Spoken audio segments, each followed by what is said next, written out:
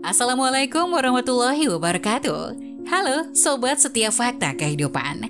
Tidak lupa kami sampaikan salam sehat, salam sejahtera, semoga tercurah segala bentuk kebaikan dan juga kita semua dalam lindungannya. Seperti biasa, kita akan berbagi kisah dari yang unik, menarik, sampai bikin nangis. Mari kita simak kisahnya.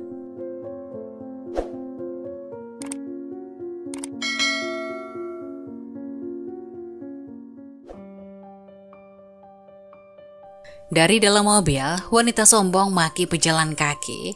Tak disangka yang dimaki orang penting.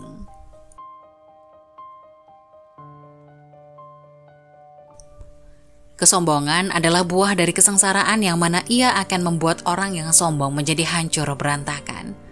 Tak hanya itu saja, kesombongan yang ditampakkan pada orang lain juga dapat membuat orang lain tidak senang.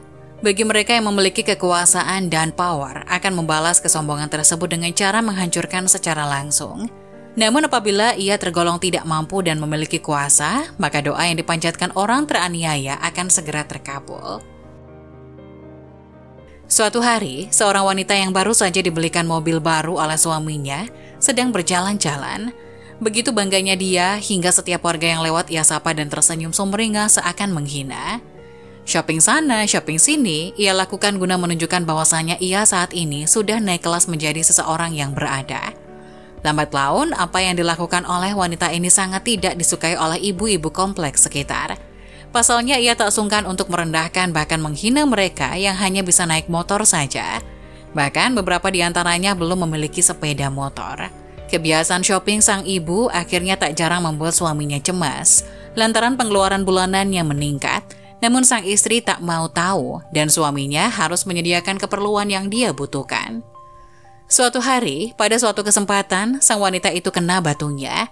Ia terjebak di kemacetan. Ia bunyikan klakson dengan kencang, tak jarang ia berteriak untuk tidak mengganggu jalan mobilnya. Padahal saat itu, kondisi memang tengah macet lantaran ada pengalihan jalan.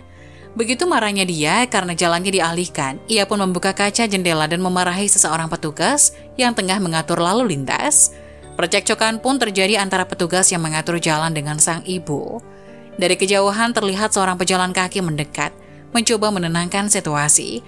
Sang ibu pun lantas menjawab dengan ketus, apa kamu ikut-ikutan? Punya mobil saja enggak? Tahu enggak, gara-gara dialihkan begini, memperbanyak pengeluaran saya. Kamu tahu, bensin ini terus berkurang jika terlalu lama nyala dan berdiam diri begini. Bukannya bersyukur diingatkan dan hendak dilerai, namun pejalan kaki ini justru dimarahi. Pejalan kaki tersebut hanya tersenyum melihat apa yang dilakukan sang wanita. Begitu sombong dan angkuhnya, beberapa orang yang melihat hanya bisa melongo saja, lantaran yang dimarahi tersebut merupakan seorang yang sangat penting di daerahnya. Iya, dia merupakan pejabat yang memimpin daerah tersebut yang mana memang sedang belusukan menggunakan pakaian sederhana. Akibat dari petugas yang mengatur lalu lintas yang tadinya hendak membiarkan pun naik pitam, dengan ketidaksopanannya terhadap pimpinan wilayahnya.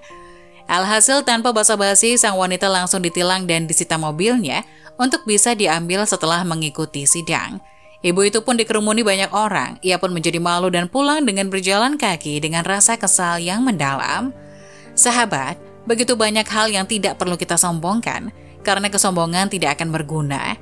Ingatlah satu hal, di atas langit masih ada langit, sehingga apa yang kita miliki masih banyak yang memiliki pula seperti kita, bahkan lebih baik dari milik kita.